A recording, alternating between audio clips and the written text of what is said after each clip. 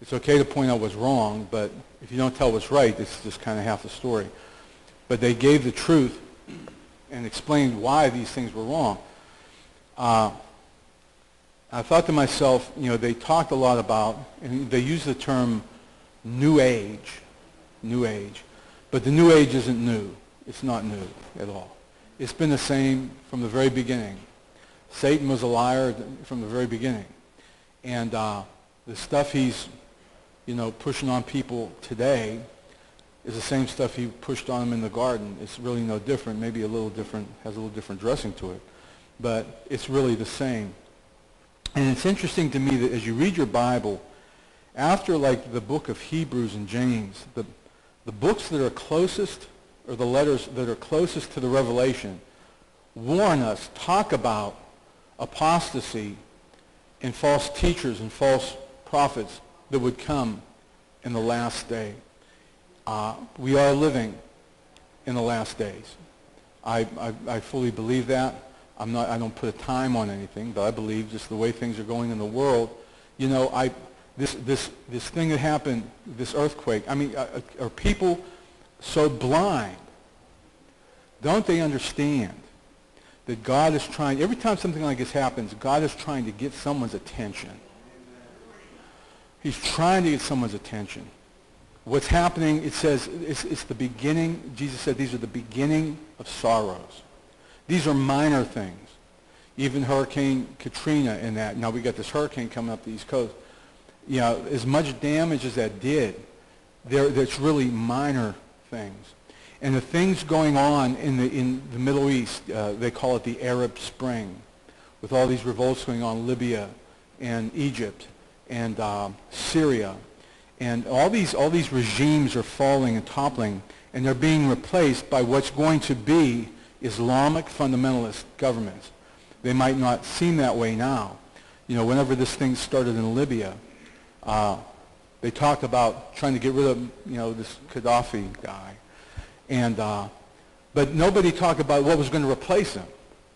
These, these rebels that they've been helping, they don't know, they never knew where they were, you know. and, and it probably, they know that there's Al-Qaeda mixed in there. So, I mean, this is just, things are happening where the, the, the world is, is, the lines are being drawn in the world, the lines are being drawn in our nation, in our society, in our culture. And, uh, and, and most of the lines, many of, many of the division is, is over the nation of Israel.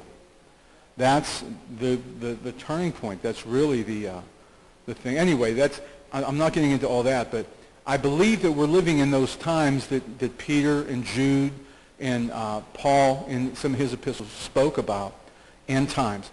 And uh, all this false stuff, all this, all this false teaching that has crept in to the body of Christ in different places, in different ways, has the purpose of distracting and destroying Christians' testimony. I said before uh, Sunday morning, I said, Satan, for the unbeliever, Satan does everything he can to keep him from hearing the gospel. He'll do everything he can to keep the unbeliever from hearing a, a clear presentation of the gospel. For believers, he does everything he can to nullify our testimony.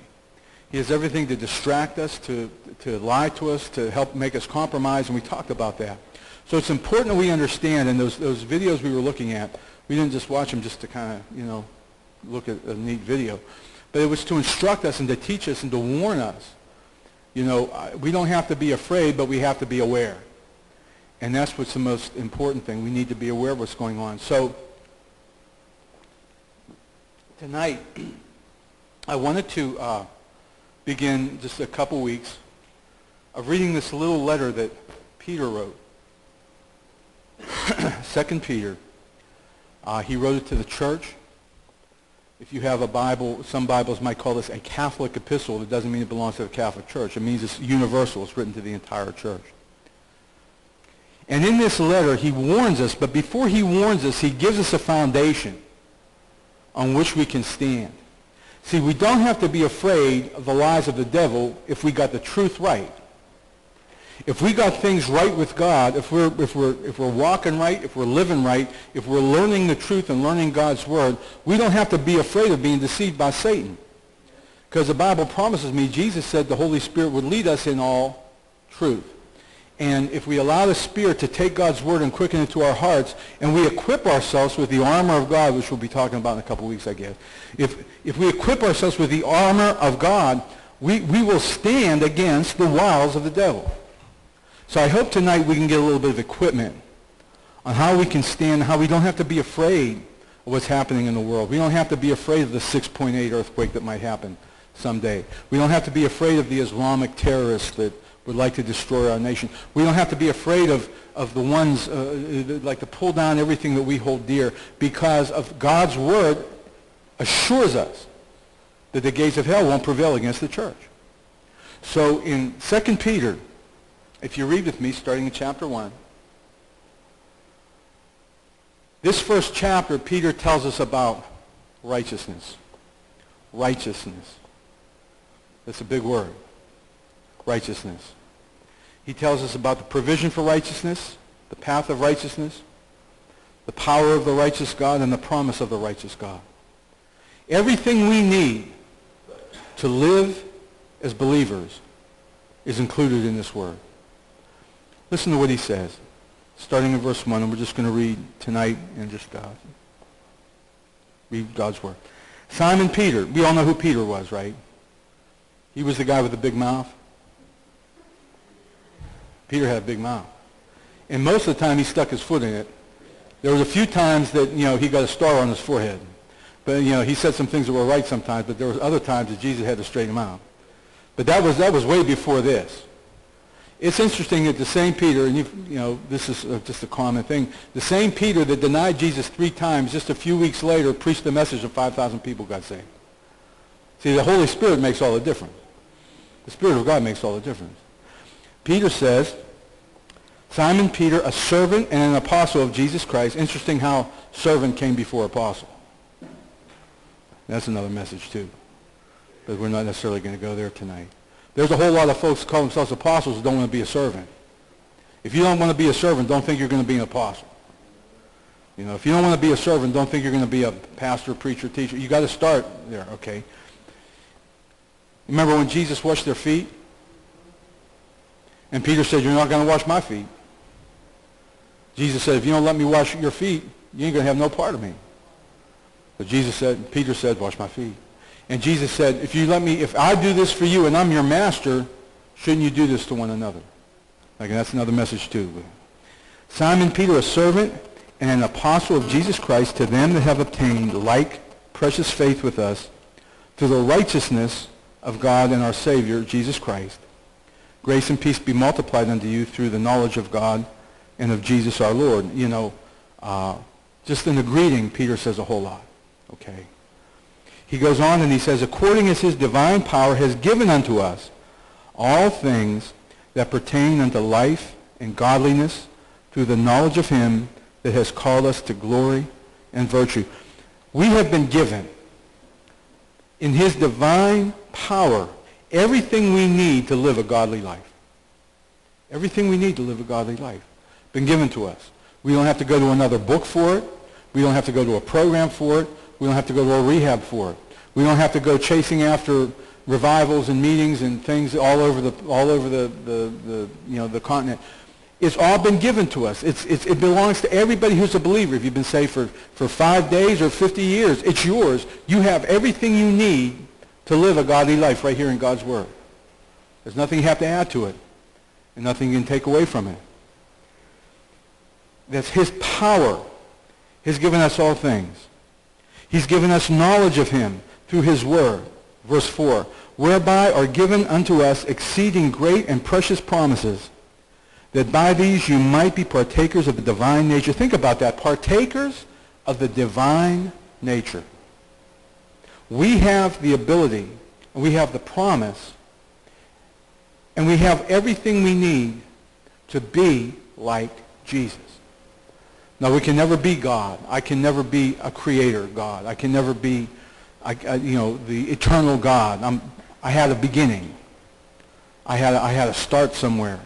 God had no beginning and he has no ending. But we can partake of his divine nature. And how can we do it? Through knowing his word. his great and precious promises that are in his word. This is the provision that he's given us for righteousness in his word and through his Holy Spirit. We can live and we can be anchored and we can be rooted and grounded, partakers of his divine nature, having escaped the corruption that is in the world through lust. So I, I feel that there's a lot of folks that are Christians and maybe have accepted Jesus Christ, but they don't, they don't believe or they have never heard that they can be free from the things that bound them before they were saved. I believe God can set you free. He can make you free. Jesus said, who the Son sets free is what? Free indeed. He can deliver you from the things. Some folks think that I'm just always going to be an alcoholic. I'm always going to be a cracker. I'm always going to be a heroin addict. I'm always going to be what, what I am. But through God's provision, in his righteousness, he's given us everything we need to live a godly life. Now listen, it doesn't come easy. Some folks think they get saved and they just sit back and things are going to start happening. There's, there's, there's something on our part. We have to pursue righteousness. And that's what he goes and begins to talk to us here in, in uh, verse 5. He says, he's told us about the provision for righteousness. Now he wants to tell us about the path of righteousness. There's a path. It doesn't just happen. Now, we're saved by faith in the blood of Jesus Christ. I'm not talking about salvation here. I'm talking about living a sanctified life, a life set apart, a life that reflects Christ in us. This, this passage is one of the first messages I ever preached in, over Pastor Spencer's church. He says in verse 5, and beside this, beside these things that God has given us, that he's equipped us with. He said, beside this, giving all diligence. That word diligence, that, that means an effort. You know, some folks don't like to make an effort for anything. You know, we just don't want to make an effort. Sometimes, if you want to get something done, not sometimes, all times, if you want to get something done, you got to make an effort. Things don't happen by themselves. My grass is not going to cut itself. I have to go down, get the lawnmower, drag it out, and get the weed eater. I gotta, I gotta make an effort. It's work. You know, your, your, your house don't get clean by itself. It gets dirty all by itself. It doesn't get clean by itself. My wife will tell you I don't do good in that area. That's not my forte. It's cleaning. I've never I've never quite overcome that. I'm working on that one. But it takes an effort. Peter tells us to give diligence. You need to, you need to adopt the mindset that this life in Christ, salvation is, is a gift of God. Life in Christ, sanct, the sanctified life, the holy life, requires effort. And it doesn't mean you're going to be more saved than somebody else. This is just something that he's told us he wants us to do. He wants us to reflect who he is. So he says, giving all diligence. After your faith, we begin with faith. We begin with faith in Jesus Christ who died on the cross for our sins. That's where we start. We're saved by faith and not of works, lest any man should boast. But we add to your faith virtue. That word virtue is, is like power. It's like manliness, you know, bravery, courage. God, give us boldness. What did they pray for just a few days after the day of Pentecost when they were being persecuted? They prayed for boldness, virtue, courage. Add to your faith. For don't be afraid to tell somebody about Jesus Christ. Don't be afraid to share your testimony. You know what I saw today? I was, I was looking on the internet, and I, on, on my homepage, there's uh, you know, Fox News, okay? And they had on there an article about David Berkowitz. You know who David Berkowitz is? They used to call him the son of Sam. How many of you are old enough to remember the son of Sam? For, for, for about two years, he was going out in New York City shooting people in cars with a 44 caliber. He was, he was demon-possessed. By his own admission, he was possessed of the devil. Well, he went to prison, and you know what? He got saved. He got saved. And they had an article in there. They said, David, he's not even interested in parole. He was given like 12 sentences of 25 years to life or something, and he's up for parole. He says he doesn't want parole. He Doesn't want parole. He's in jail. He's saved. He shares his testimony. He works with the chaplain. I mean, it's really a great letter. Here's a guy who was possessed of the devil and got saved. And he's not, he didn't get saved just to get out of jail. I'm telling you what, there's a whole lot of guys get saved thinking, thinking it's going to get them out of jail. He doesn't want to get out of jail. He's been redeemed. I should have brought the letter to read it to you. But he, here's a fellow that got saved, and he wasn't afraid. When he was demon-possessed, he wasn't afraid to go shoot people. When he got saved, he wasn't afraid to go tell people he was saved. And let God use him in that prison to minister to other, other guys there. You add to your faith virtue. And to your virtue, you add knowledge. Learn this word. Learn about Jesus. Learn who God is. Learn who Christ is. Learn what he came to do. There's no mystery. It's all been revealed. It's everything that he did. It's everything that we can understand about God is revealed in the person of Jesus Christ. So if you want to have knowledge, don't go buy all these other books. Go to this book. Matter of fact, I recommend people get one of these books, especially if you're just starting out. Get one of these books that don't have no footnotes in it. Just get, just get one of these books and ask the Holy Spirit to say, make me understand this. He, and he will. And you'll have knowledge of who God is, of who Christ is, and what he came to do, and what he came to do for you. You add to your faith virtue, and to your virtue knowledge, and to your knowledge temperance or self-control. It doesn't say self-esteem. It says self-control. You learn how to control yourself in Christ. You learn how to control your desires. Your yes, you can control. Yes, I can keep from going down to the refrigerator at 3 o'clock in the morning and eating, a, and eating a donut. I can, okay?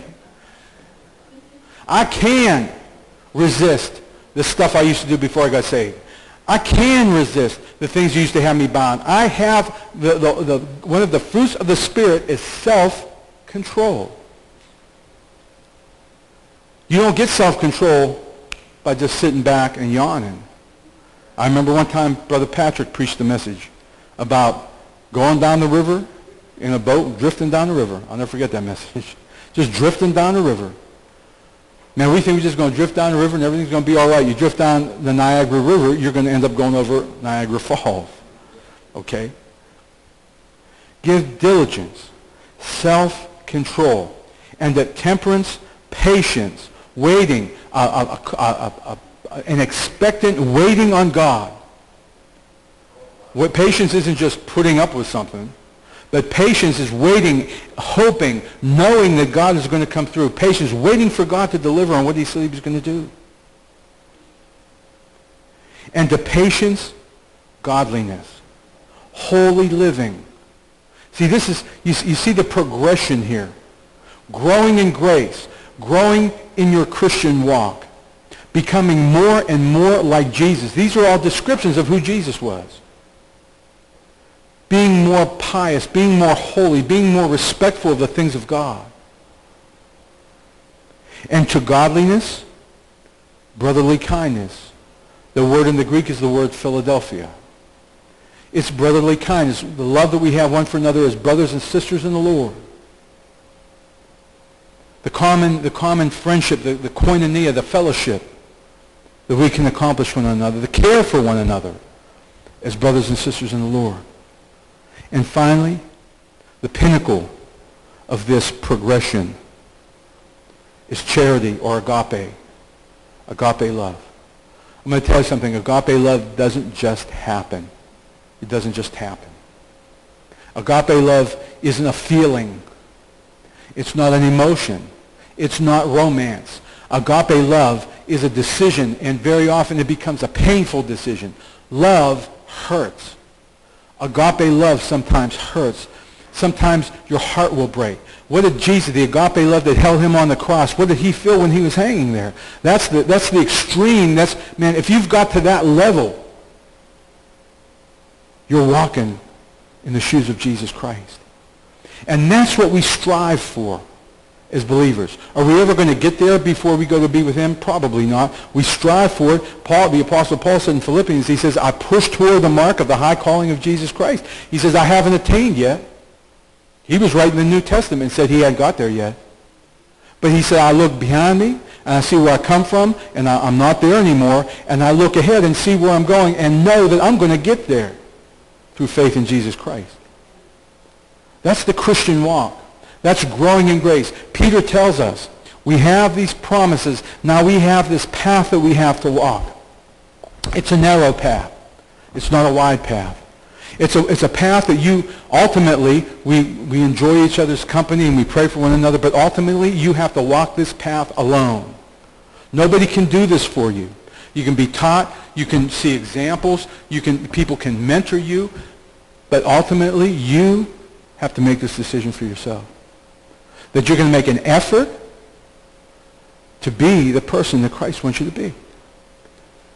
See, if you do that, you see, the stuff that we've been watching over the last five weeks, we, we, we've been looking at people trying to present different ways to get there, there. Everybody's trying to get somewhere.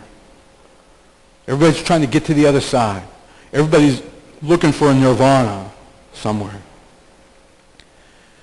And we're always looking inside. People are looking inside, you know, looking for that God inside of you. You're not going to find God inside of you unless you're born again and have the Holy Spirit living inside of you. And that Spirit that's living inside of you, he's going to take you down this path if you'll let him. He will draw you. He'll teach you. He'll show you all righteousness. But we have to let him. And we have to be willing to make the effort. God help us make an effort. We go, you know, we live in a society, we want everything to be push button. We don't go and make an effort. We got robots that clean the, you know, so vacuum the floor. We want, we want to try to find, you know, yeah, we, you ever see them things on TV, you know, lose 30 pounds in 30 days? Yeah. I get a kick out of the ones, I like to go down the Y, you know. I like to go down the Y. I go down the weight room down the Y, and I just, I don't do a lot of really heavy, you know, but I just kind of just go down there and work out. But I know a lot of guys down there that are like real, you know. And you look at these commercials on TV, and they say, get these flat abs in the 30 days, you know, wear this belt, or watch this video. It takes an effort. It takes an effort. Okay. Peter goes on. You know how they talk about having a six-pack? You know? I tell people I don't have a six-pack, I have a keg. okay. Just kidding. All right. Now look at verse 8. For if these things be in you, and abound. If, you if you're growing in grace, if you're living the life that Christ wants you to live, if these things be in you and abound, they make you that you shall neither be barren nor unfruitful in the knowledge of our Lord Jesus Christ. If we make this effort to live this, this life that Christ, this Christ-like life, we don't have to be afraid of what's going on out there. We don't have to be afraid of what's happening in the Middle East. We don't have to be afraid of what's happening on Wall Street. We don't have to be afraid of earthquakes. We don't have to be afraid of any of that because these things are working in us if we're living a life that Christ tells us to live. Look at verse 9. But he that lacks these things, now here's the warning. If we don't make the effort, I'm not talking about salvation is, is, is a gift given by God. I'm talking about this walk, this life that we're living. If we don't make the effort, we're blind and we can't see afar off. And we have forgotten that he was purged uh, from his old sins. See, if we don't make the effort, we'll be, we'll be a sucker for anything that comes down the pipe. And that's why I think there's so many people that are buying into a lot of this stuff that we've seen before because they've never made the effort to learn the truth. Even ones who are really saved, maybe some of them are just have gone through the motions, but they've never made an effort to understand and to learn and to realize that yes, there is a life that we can live worthy of being called a believer of Jesus Christ.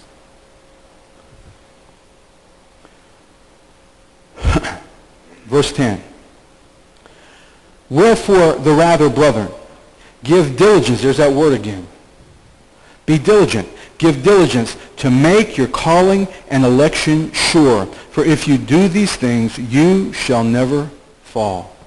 People get in an argument about losing your salvation. Listen, if you got more Jesus, you don't have to worry about losing your salvation. It's not an argument. It's not a, it's, it's not, it's not a, it's not a debate. It's a moot point. Brother Lovey Scott says, once saved, always saved. He says, you need more Jesus. If you got more Jesus, you don't have to worry about losing your salvation. You don't have to worry about nobody can take it from you. He says, to give diligence. That means to make the effort, to work at it, to, to work. Listen, you, you got to work and live in the Christian life. Not to be saved, but to show the world what salvation is all about. God didn't save you to be the same old person you were before you got saved. He saved you to make you a new creature. He says, For so an entrance shall be ministered unto you abundantly in the everlasting kingdom of our Lord and Savior Jesus Christ. Wherefore I shall not be negligent to put you always in remembrance of these things, though you know them and be established in the present truth. Peter used this term about putting in remembrance like three times in this first section. He wanted to remind them. He wanted to say, you remember what I taught you. Don't forget. You know, if you don't do something a lot, you forget how to do it. This is a daily practice. This isn't just something you do like three times a year. he begins to talk about the power of the righteous God. He says in verse 13, Yes, and I think it meet as long as I am in this tabernacle to stir you up by putting you in remembrance, knowing that shortly I must put off this my tabernacle, even as our Lord Jesus Christ has showed me. Peter knew that his end was near. When he talks about putting off his tabernacle, the tabernacle he was talking about was his body. This is our tabernacle, it's the tabernacle of the Holy Spirit. He says, I'm getting ready to die. I'm getting ready to be martyred. Peter knew Jesus gave him, uh, back in John chapter uh, 21, the last chapter of John, uh, Jesus gave him an indication of how he would die. Some people traditionally, some people say that Peter was crucified upside down. We don't know that for a fact, but we do know that he was, we believe he was martyred.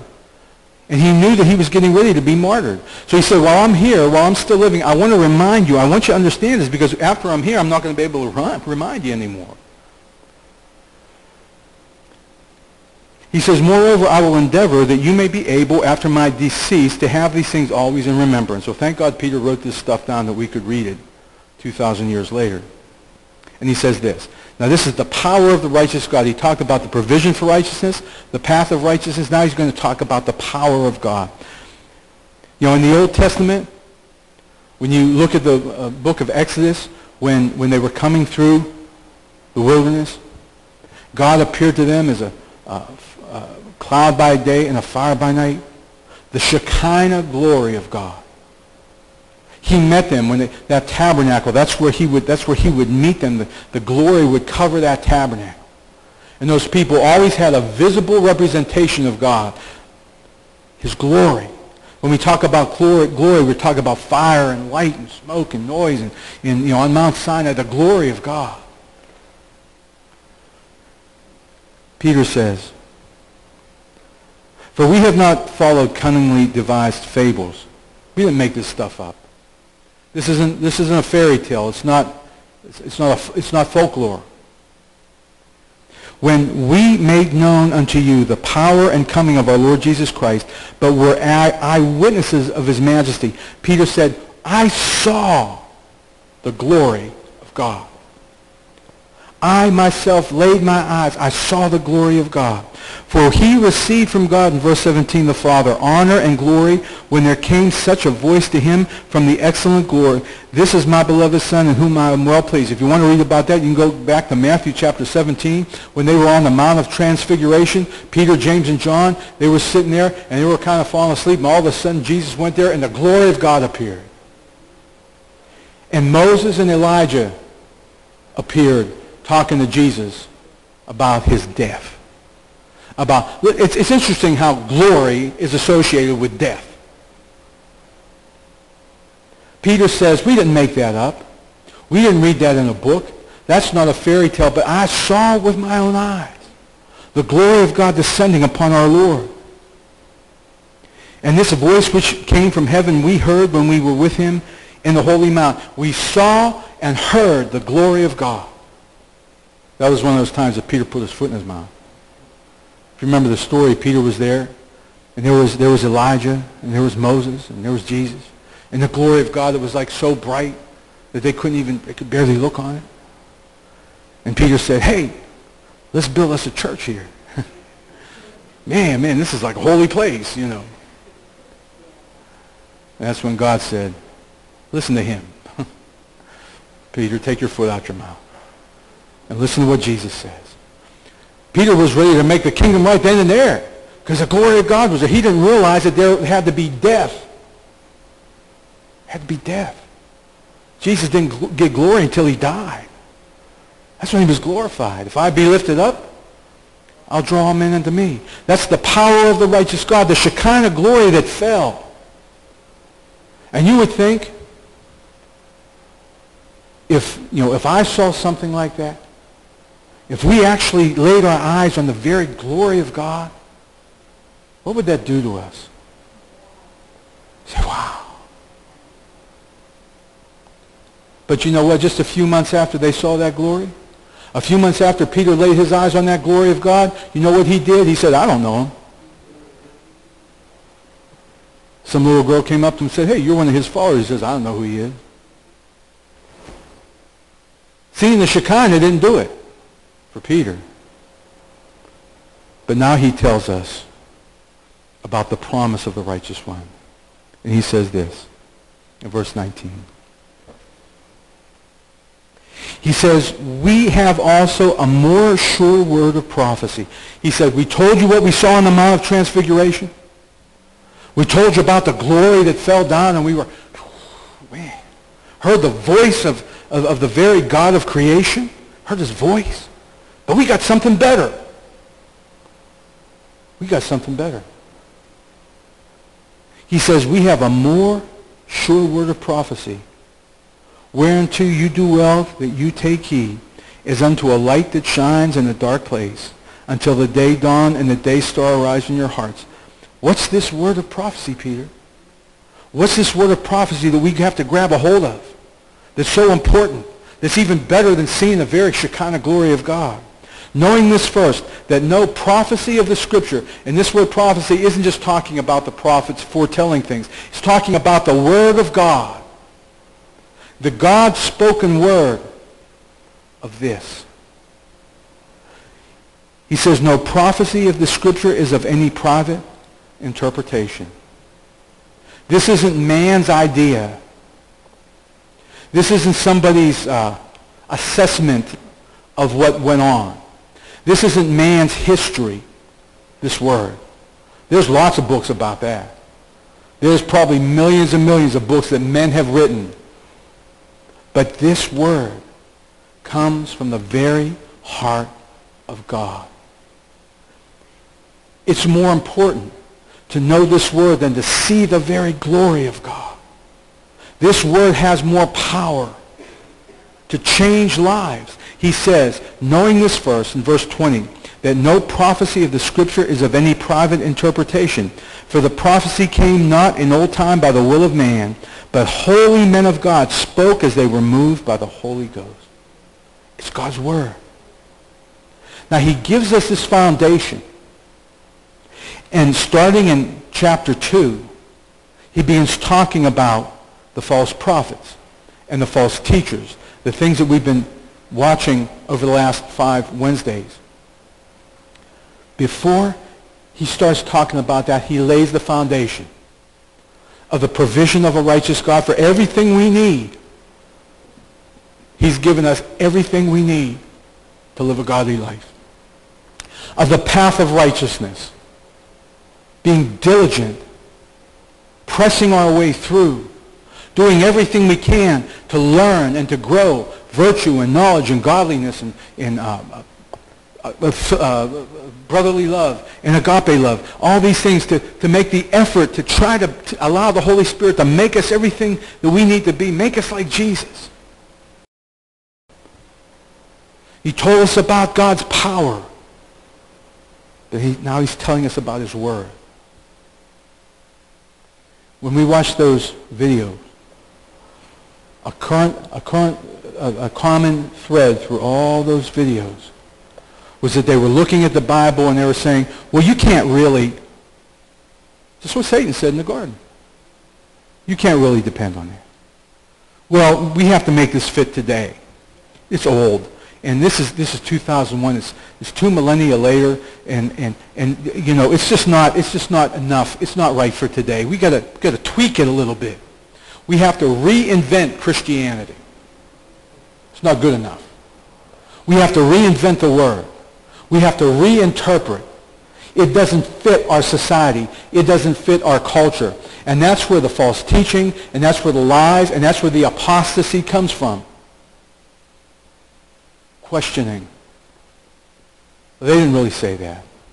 Well, Isaiah really didn't write the whole thing. There's really maybe two or three people that wrote Isaiah. Daniel didn't really Daniel didn't really live at the time of Babylon. It was really in between the testaments, and uh, they uh, he wrote that just to make the people feel good. John in Revelation that, that didn't have that doesn't have anything to do with the end times. That's just he was just he was just trying to encourage his people to be strong.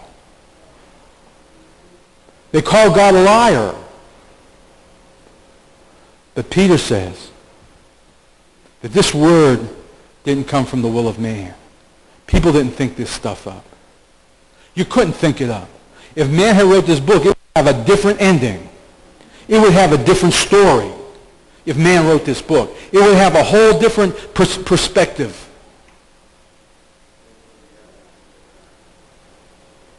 This prophecy came not in old time by the will of man, but holy, holy men of God.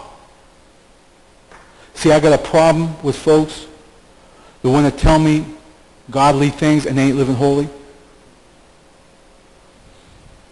All, all kind of people want to stand up and preach and call themselves apostles and preachers and teachers, but they're not living holy. They're not making, they're not giving diligence to live this life that we read about, to, to, to take that path of righteousness. They don't care about that. They just want to shoot their mouths off. He talks about that in the next chapter. It came from holy men of God. They spoke as they were moved by the Holy Spirit. You know, nobody writes Scripture today. Scripture is finished. It's done. But when somebody stands up behind the pulpit, they better be, they better be filled with the Holy Ghost. When I or Sister Casey or Pastor Todd or somebody comes up here and preaches, I have somebody here, they, they better, I, I pray God, anoint them with the Holy Spirit. Because it's the Holy Spirit. You know, if you're not anointed with the Holy Spirit, you can speak words, you can talk words, and it'll go in one, one or not the other, and people will leave the same way they came in. But if the Holy Spirit's at work, he'll take, you don't even have to be a good speaker. He'll take these words, just like he took the words in this book, and it gives them power. If somebody speaks or preaches this word, the Holy Spirit will take that and empower it to touch somebody's life and change somebody's life and get them on this path of righteousness. See, when we start next week, if, if the Lord wills, and we go into chapter 2 and we start reading about all these, all these false teachers and preachers that we've been hearing about here and, and, and learning about here, if we have this foundation correct, we'll be able to tell them a mile away. Come on, you know, if you got the Holy Spirit, there's sometimes you've heard people speak and you didn't know exactly what was wrong, but you knew something was wrong. And you found out later. I tell people, if you get a check in your spirit about somebody, don't ignore it. Just listen. You know, God will show you. He'll show you every time. But we need the foundation. We need the foundation. God's Word, his power. We need to be diligent to be trying to live the life that God wants us to live. I wish it were easy. I'd like to say, you know, if it were easy, you wouldn't have to be diligent. if it were easy, you wouldn't have to make an effort. There's some things you just got to make an effort. Paul said in another letter, and I'm closing. I don't want to ramble on. He said, you know, body, bodily exercise profits little. But we learn to exercise our faith. God gives us the opportunity to exercise our faith. When things don't go the way we want them to, like I say, I, I see these guys down the Y, you know, with the weights. If you never try to lift 224, pou- uh, 225 pounds, you'll never lift 225 pounds. If you never try to bench press, you know, you'll never get there. If you, if you stick with 100 pounds, that's all you'll do. You got to put more weight on. And you got to have somebody there to help you. You got to have a spotter. Because you might get it up there and get it back down and can't get back. can't get So you got to have somebody there to help you. But once they help you one time, the next time you do it, you know what? You'll be able to, then you put a little bit more weight on. That's the way God does. He'll, you know, he'll, gi- he'll give you a test of faith, and he'll bring you through. He'll spot for you. He'll get you through. You'll say, hey, then another one's coming. It'll be a little heavier. But see, that's how we get where we need to be. If you never make an effort to love somebody, you'll never love anybody. If you ne- never make an effort to share your faith, you'll never share your faith. If you never make an effort to be diligent, to be virtuous, you'll never be there. You can just sit back, kick your feet up, and float down a river. But God help us be the people we need of God we need to be. Amen? Amen. All right.